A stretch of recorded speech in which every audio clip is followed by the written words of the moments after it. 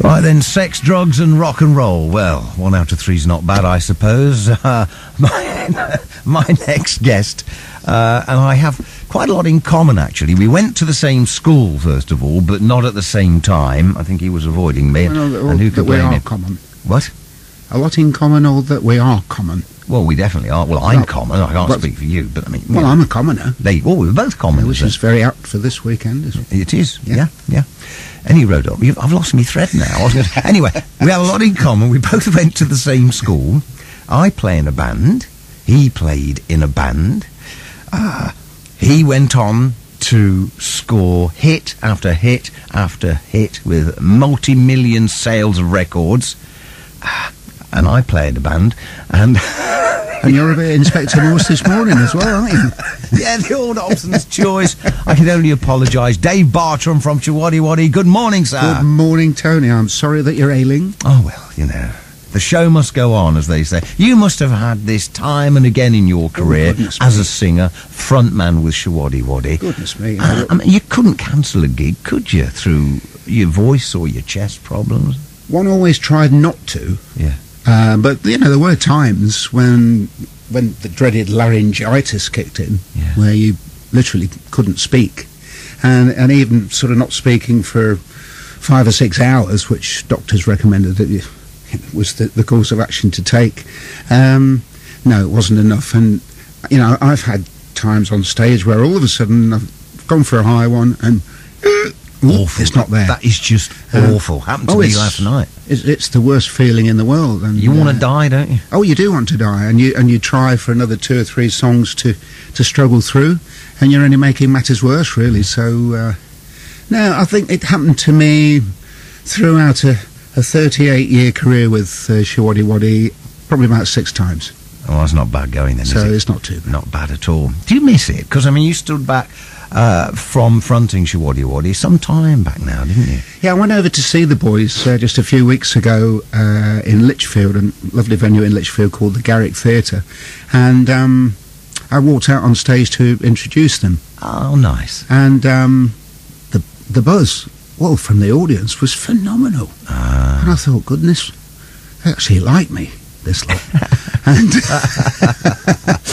and I came away sort of th- thinking, you know, um, that was a nice little boost to the ego, but uh, I, d- I don't think I miss the, I certainly don't miss the aches and pains and, you know, the hoarse voice in the, the morning after. Sure. I don't, I don't miss that at all, and you know it has given me uh, the well, the opportunity to, to write, which I, I'd wanted to do, and I've just completed my second book, which obviously we'll, we'll be chatting about. But um, You're becoming prolific now as an author, because this is book two, isn't what's it? that mean? It means, it means a, a, a lot.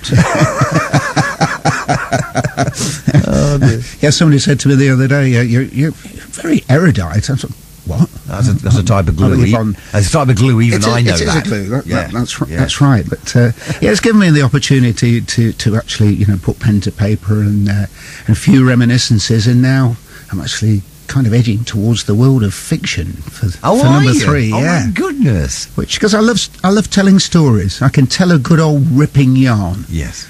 uh, of which there are. I think my publisher said to me there are 300 stories in this book. My goodness. Um, I said, "Oh, that sounds a little bit tedious." Well, it's sort of it's sort of based. Uh, I say sort of. It's entirely based, really, on the uh, the tour of of the UK. You visited every city, and each one has a tale of its own. Each one has a tale you can to tell. Each one has a tale or two to tell, and it is, you know, as it says on the on the jacket, uh, the UK tour of a lifetime. But uh, it doesn't only focus on on the days with uh, Shawaddy Waddy. It uh, it r- actually goes right back to uh, to my childhood and day trips from the school to Lincoln Cathedral and and um, things that kind of happened along the way. Uh, and there's a lot of amusing stories. There's uh, there's a few people's feathers likely to be ruffled, Excellent. um, you know, which the publisher urged me to uh, to try and stay uh, err on the side of caution as regards you know, the the legal side. sure. But um, so we've we've boxed clever, and I think we've come up with an entertaining product. And uh, and there's a, there's some incredible stories in there that uh, that I've had a lot of help from friends that I've, I've known in the industry over the years, and said, "Do you remember that night when such and such?" And God, I'd forgotten that, and uh, and, it's, And it all comes and they're all back. there, and, it, and and it's amazing.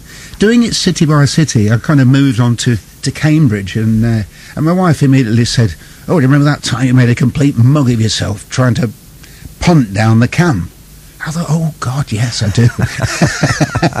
so it's in there, and uh, Right. yeah, the, the, the right and wrong ways to uh, to attempt to punt down the uh, the glorious cam through the lovely city of Cambridge. But uh, but obviously there's all the rock and roll tales, and there are stories in there of uh, Ozzy Osbourne, Paul McCartney. There's a lot of lot of name dropping. You name Uh, dropper, you. yeah, if you can't drop names, who the hell can? Well, you know, I was Hey. urged urged to uh, drop as many names as possible to make the product attractive, I suppose. Wise advice. Hey, look, I'm looking down the list of contents, and it's uh, alphabetical, as you might imagine. Well, it, it, it, I've got to Lancaster, Leeds, Lichfield, Lincoln. Li- Where's Leicester? Leicester is the final chapter.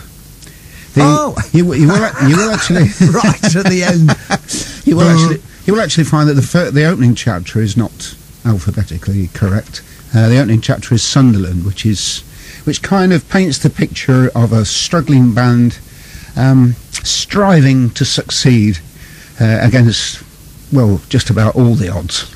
Right. And um, and we we finish up in Leicester for obvious reasons because uh, not only is the city close to my heart, it's um, I'm a birthplace. Uh, there, there's uh, some cracky. I, I don't really want to give too much Too away. much to, away. To, No, be, I understand. To be honest, but there, uh, there, there's a couple of cracking tales about Leicester. I'm looking forward to reading this. I truly am.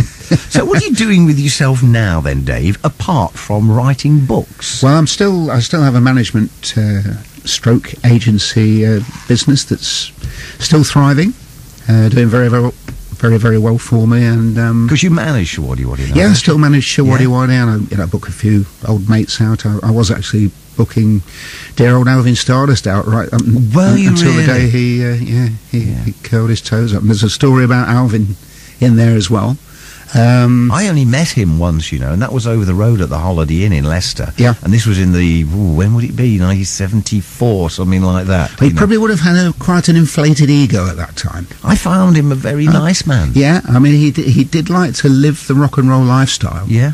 but he, he calmed a lot in his in his later years. Because it was a second time round for Alvin, wasn't it? He was Shane Fenton originally. Bernard Jewry, I think. Bernie is his Jewry real was name. his was his name. Yeah. we used to call him Bernie. He hated it. Did he really? Yeah, absolutely loathed it. oh.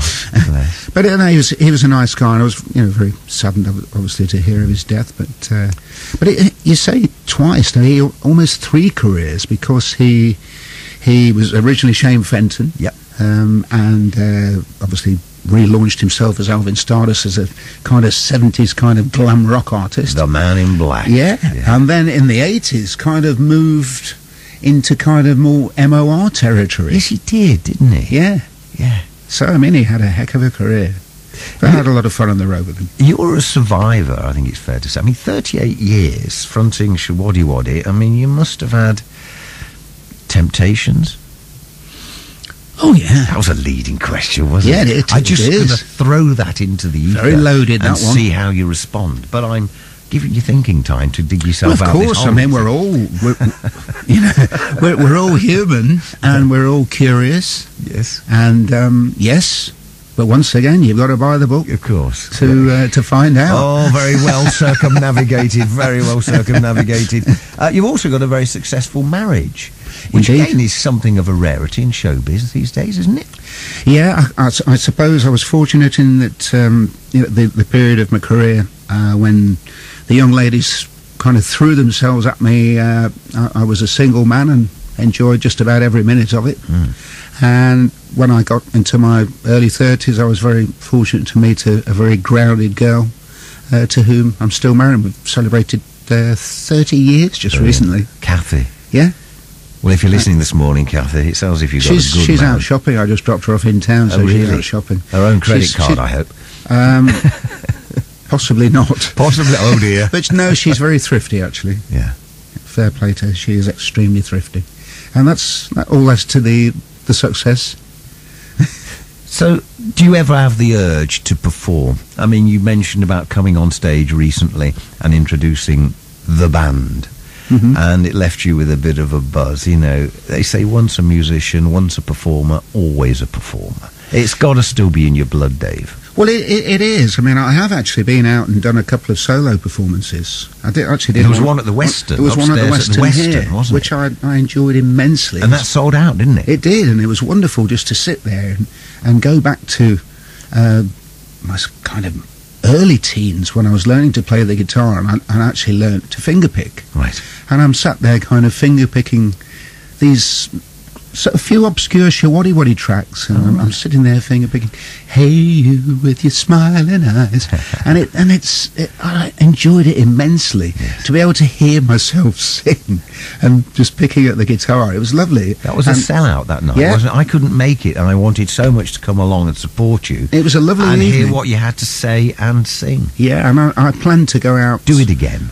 Well, I will do it. I, I certainly will do it again. And we were planning a launch actually for, for the book, which um, we've had a few problems with. Uh, the editor was he suffered illness, and uh, so things. We were due to do a launch up in Sheffield, but um, that that didn't quite happen. But I was looking forward immensely to, to getting out there and doing a bit more picking and plonking away at the Joanna as well. But uh, just to show a, a slightly different side, but. Um, but it, it, it will happen for sure because you know I do still like to like to sing and and, and people don't realise there's kind of a a tender, gentle side to uh, to Bartram. Yeah. So it's the other side, the Well, flip is, I mean, side still of Dave Bartram. Stick a couple of hit singers, people want to hear them, but you know when it's when it's myself on my own, and I, I- I'm actually recording a brand new song to go on on YouTube, which I've written to accompany the book. Oh, really? Yeah, it's a song about my travels. Oh, wow. So that will be when the when the book is released for trade. It's only available online as of this week. Okay. Uh, when the book is released to the trade in August, um, it, that will be up on, on YouTube, and I'll be getting out and doing all Okay. all manner of things. All right, let's have a copy of that and we'll give it a spin. Yeah, That's all right indeed, you. indeed. So it's all mapped out, the latest offering uh, by Dave Bartram from Showaddywaddy, the UK tour of a lifetime.